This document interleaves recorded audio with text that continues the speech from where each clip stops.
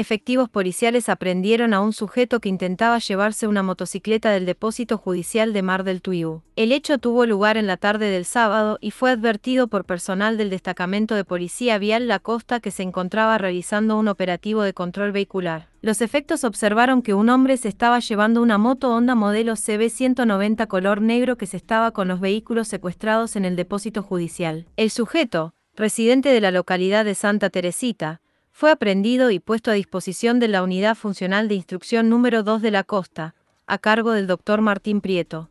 Somos Radio Noticias